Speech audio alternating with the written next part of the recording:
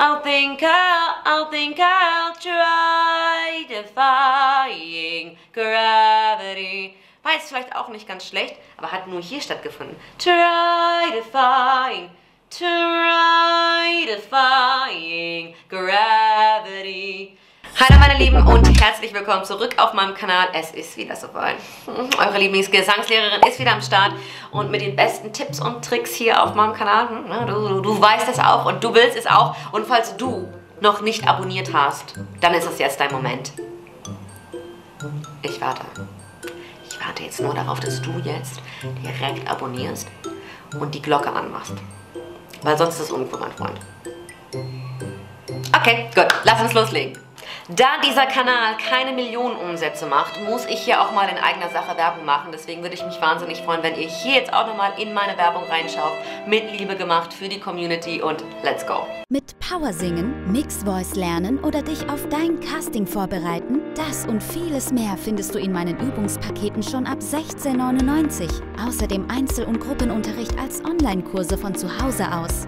Werde Teil der zukünftigen Starke Stimme Academy ab 1999 und sieh, was dich dort erwartet.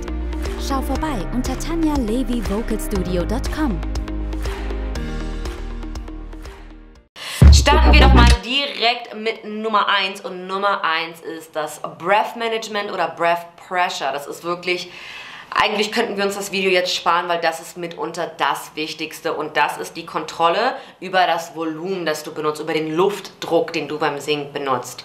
Also ganz häufig habe ich hier junge Sängerinnen, junge Sänger, Anfänger, die wirklich viel zu laut die Töne ansetzen und entgegenschleudern und ja, ich war Genauso. Also es, erinnert mich immer wieder an mich selber ähm, und das ist nicht so einfach lernen mit Kontrolle zu singen, wirklich Kontrolle zu haben über sein Instrument. Aber hier geht es jetzt ganz klar darum, wie viel Volumen gebe ich am Anfang. Und es muss auch supported sein. Oh, nur luftig, aber es darf auch nicht oh, zu doll sein, Glottal Onset. Es darf es halt auch nicht sein. Es muss halt eben die Mischung sein. Und hier ist es ganz wichtig, wie viel Luft benutze ich, guter Luftdruck und ähm, Support von unseren Muskeln, von unserem Zwerchfell in dem Fall. Think I'll, I'll, I'll try defying gravity. Mir fiel jetzt kein anderer Song ein. Try. Und der Song ist um dieses Try defying, try defying. Jetzt singe ich das so musicalmäßig aus. Aber dieses Try. Und da ist nämlich dieses, wir wollen halt nicht try und luftig ansetzen. Wir wollen auch nicht try defying. Try defying. Try. Oh, ich muss mich zurücknehmen. Try defying. Also ganz wichtig, das sind diese zwei Komponenten natürlich. Wenn ihr Tipps und Tricks haben wollt, dann müsst ihr auch schon mal beim Unterricht anrufen. Das kann jetzt nicht alles hier umsonst auf YouTube sein. Also Leute, jetzt aber halt lang. Tipp Nummer zwei. Crescendo, Decrescendo. Was uns auch nochmal ganz häufig hier hilft im Studio, ist Crescendo, Decrescendo üben. Das heißt, dieses Gefühl zu haben, wir machen so ein Smooth Onset. Wir gehen jetzt relativ smooth auf diesen Ton rauf. Allein auf diese Metapher ist es aber egal.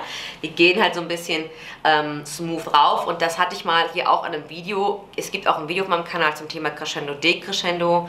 Ähm, wie man, ja, um einfach richtig sich fein zu tun. Ich mache das so ein bisschen wie das Radio. Man hat das Gefühl, man sucht jetzt einmal diese Radiofrequenz. Kennt ihr das, wenn ihr so das Radio anschaltet und dann findet ihr aber diesen Kanal nicht? Naja, auf jeden Fall, ihr wollt euch da reintunen. Das Stichwort ist reintunen.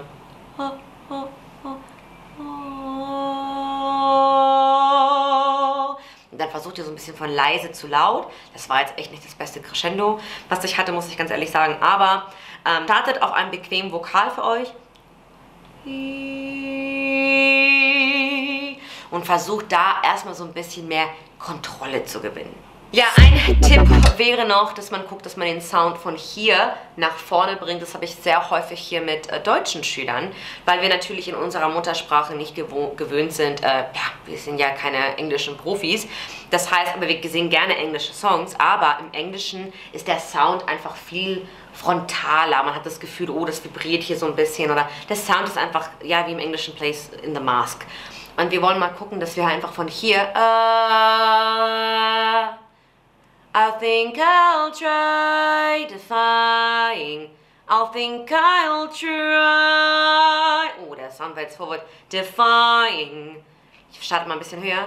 I'll think I'll, I'll think I'll try. Defying gravity. War jetzt vielleicht auch nicht ganz schlecht, aber hat nur hier stattgefunden. Try defying. Try defying gravity. Also ich versuche, ich war eine tiefe Tonlage jetzt, ne? Weil muss bequem sein heute. heute geht nicht so hoch. Ich bin total ausgetrocknet mit meinen Stimmbändern. Das heißt, versucht den Sound mal so ein bisschen nach vorne zu bringen. Das könnt ihr mit so Vokalen machen wie Nia, Nia, Nia, Mio, Mio, Mio, Nia, Nia, Nia, No, No, No, Nay, Nay, Nay, Never, Never, Never, Never, Never, Never, No. Mia, Mia, Mia, Mia, Mia, Mia, Mia, Mia, Mia. Solche Sachen zum Beispiel. Und dann guckt ihr, dass ihr wirklich wir Deutschen, ne, hier auch, da ist gar kein Sound. Ne? Aber bei den Amerikanern ist es doch ein bisschen weiter vorne. Das sind natürlich Metaphern. Und ich versuche hier nicht so oft mehr im Fach Chinesisch zu sprechen. Deswegen benutze ich halt solche Begriffe wie Amerikanern.